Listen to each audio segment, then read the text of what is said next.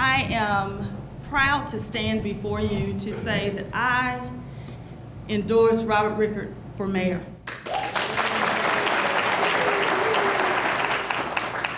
I'm supporting Robert Reichert not because he's been a friend to me, not just because he's been great for Macon, but because Robert Reichert is a loyal, loyal public servant. Not only that, you know, before you can be a loyal public servant, you've got to be loyal to your God, your faith, your wife, your children, and then you can be faithful and loyal to your community at which you serve. And Robert has been loyal to all of these.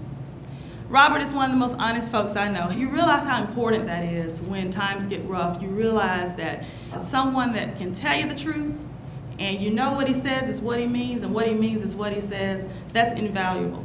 Not just as a public servant, but as a friend. He's a capable leader.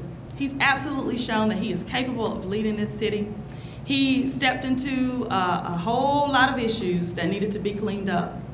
And he's done that. He took a hard stand and he's done that. And I don't know about you, but I think Robert Reichert is off to a good start. And some wise man said a long time ago, if it ain't broke, then don't fix it. So let's send Robert Reichert back to the mayor's office. He deserves to be there. He's, he's merited our support. He's certainly merited my support. I'm proud when I say Robert Reichert is my mayor when I'm in Atlanta.